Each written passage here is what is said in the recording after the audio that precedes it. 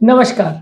आज हम बात करेंगे सिंथेटिक मिल्क कैसे बनाते हैं, यानी नकली दूध कैसे बनाते हैं क्या क्या चीज़ें इसमें डालते हैं और ये हेल्थ को किस तरह से नुकसान पहुंचाता है कौन कौन सी तरह की बीमारियाँ या प्रॉब्लम्स ये क्रिएट करता है, इस बारे में बात करेंगे। क्योंकि नकली दूध आज के डेट में बहुत बड़ी रियलिटी बन चुका है। ऑलमोस्ट काफ़ी स्टडीज़ तो ऐसा कहती है कि इंडिया में बिकने वाला फिफ्टी टू सेवेंटी परसेंट दूध जो है वो नकली होता है।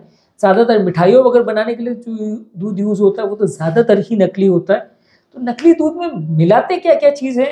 ये जानना पहले ज़रूरी है और फिर ये डिस्कस करेंगे कि वो हेल्थ को किस तरह से ख़राब करता है, ताकि आप इसको अवॉइड कर सके, इससे बच सके।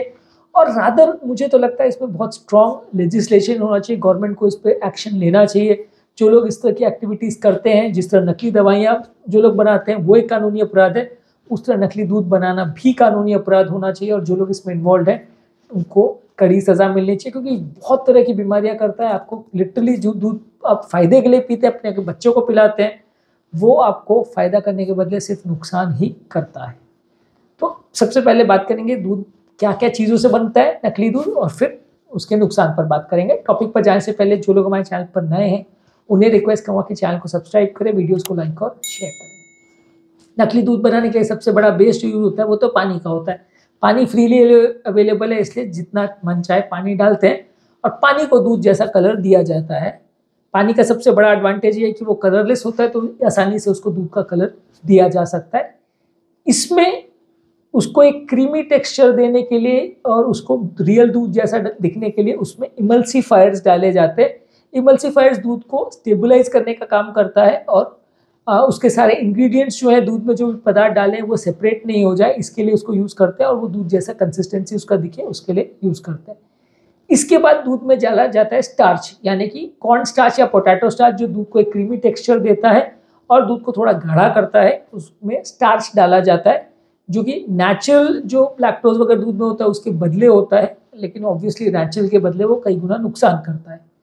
दूध में थोड़ा फैट कंटेंट दिखे और वो थोड़ा क्रीमी हो और उसमें नेचुरल जो फैट दूध में होता है, उसके बदले वो लगभग वैसा ही दिखे, इसलिए उसमें पाम ऑयल या सोयाबीन ऑयल डालते हैं। ये दूध को जब आप पीते हैं सिंथेटिक मिल्क को तो वो फैट का जो फील आता है मूड में वैसा ही आपको टेस्ट आए, इसके लिए डाला जाता है, लेकिन ऑब्वियसली ये नुकसान करता है नेचुरल दूध जैसा फैट इसमें बिल्कुल नहीं होता। टेस्ट इंप्रोवाइज करने के लिए शुगर डालते हैं। शुगर तो देखिए उतना नुकसानदायक नहीं है, लेकिन ऑब्वियसली वो भी अगर अननेचुरल शुगर है तो फ़ायदा नहीं करेगा, नुकसान थोड़ा बहुत तो करेगा ही। इसके अलावा इसमें प्रोटीन कंटेंट इंप्रोवाइज करने के लिए नेचुरल दूध के प्रोटीन्स को मिमिक करने के लिए कुछ लो ग्रेड प्रोटीन्स को यूज़ किया जाता है, या कुछ इस तरह के प्रोटीन्स को वे प्रोटीन को सोया प्रोटीन को, ये सबको डाला जाता है, जो कि थोड़े सस्ते होते हैं। उसको डाल के दूध का प्रोटीन लगभग वैसे दिखता है, हालाँकि ज़्यादातर मुझे लगता है कि वो ये सारी चीज़ें लोग ज़्यादा अवॉइड ही करते हैं और अपने यहाँ तो ज़्यादातर यूरिया वगैरह डाल के मेलामाइन वगैरह डाल के वैसे ही दूध बना देते हैं, पर हाई क्वालिटी प्रोटीन्स तो आई डोंट थिंक इसमें कोई डालता होगा। जो भी डालते होंगे वो नाम मात्र के लिए प्रोटीन जैसा टेस्ट ही करता होगा, कुछ फ़ायदा तो डेफिनेटली नहीं करेगा। इसके अलावा दूध का टेक्सचर खराब नहीं हो या बिगड़े नहीं, इसके लिए उसमें प्रिजर्वेटिव डाले जाते हैं आर्टिफिशियल फ्लेवर्स और कलर्स डाले जाते हैं ताकि वो दूध जैसा दिखे, दूध जैसा टेस्ट करे। वाइट रहे और वाइट दूध जैसा दिखे, इसलिए उसमें आर्टिफिशियल वाइटनर्स डाले जाते हैं। दूध जैसा गाढ़ा और थिक हो जाए, इसलिए उसमें ग्वार गम और इस तरह के थिकनर्स डाले जाते हैं ताकि वो थोड़ा गाढ़ा हो जाए थिक हो जाए और लोगों को ऐसा नहीं लगे कि जितना पानी डाला है वो पानी जैसा ही हो रहा है। इसके अलावा उसका नेचुरल कंसिस्टेंसी जैसा दिखे, इसलिए कुछ एसिड और एल्कली जैसे कंपाउंड भी उसमें डाले जाते हैं, जो कि डेफिनेटली नुकसानदायक है। और कुछ लोग आई डोंट थिंक इंडिया में ऐसा करते होंगे, पर वो मिनरल्स और विटामिन जो नेचुरल दूध में रहते हैं लगभग वो वैसा ही रहे कंसिस्टेंसी इसलिए थोड़ा मिनरल्स और विटामिन भी डालते हैं, पर आई डोंट थिंक अपने आप पे कोई इतना जेन्यनली अच्छे से उसमें मिलावट करता होगा, उसमें प्रोटीन भी डालेगा विटामिन मिनरल भी डालेगा, अपने यहाँ तो लोग बस कलर दिखना चाहिए, दूध जैसा कंसिस्टेंसी दिखना चाहिए, बाकी सब कुछ बराबर कर देते हैं तो अपने यहाँ तो आई डोंट थिंक ये सब भी कोई अच्छी चीज़ उसमें डालते होंगे, पर हाँ कुछ जगह पे विटामिन मिनरल्स भी डालते हैं, ताकि वो थोड़ा सा न्यूट्रिशियस लगे लोगों को, और नेचुरल दूध जैसा थोड़ा और ज़्यादा लोगों को डिफ्रेंशिएट करना मुश्किल पड़े। अब बात करेंगे ये सिंथेटिक मिल्क के हजार्ड्स क्या हैं या नुकसान क्या है बॉडी पर? ऑब्वियसली नेचुरल मिल्क नहीं है तो जो न्यूट्रिशनल चीज़ें के लिए हम दूध को लेते हैं कैल्शियम के लिए विटामिन डी के लिए प्रोटीन्स के लिए विटामिन के लिए, जो नेचुरल शुगर इसका रहता है, वो सब के लिए हम लेते हैं, वो आपको नहीं मिलेगा तो डिफिशियंसी क्रिएट होगी। उसके बदले आपको सारा आर्टिफिशियल चीज़ मिल रहा है जो कि नुकसानदायक है। इसके अलावा सिंथेटिक मिल्क को ज़्यादा मात्रा में पीने से लोगों का पेट खराब हो सकता है, बच्चों को भी पेट दर्द वगैरह हो सकता है, उल्टी दस्त वगैरह लग सकते हैं। डाइजेस्टिव इश्यूज़ हो सकते हैं, इसलिए आर्टिफिशियल मिल्क आपके पेट के लिए तो खराब है ही। इसके अलावा ज़्यादातर जो इसमें कंपाउंड्स डाले जाते हैं, वो अलग अलग ऑर्गन्स को, चाहे हार्ट है लिवर है किडनी है, सबको डैमेज करता है टॉक्सिक है।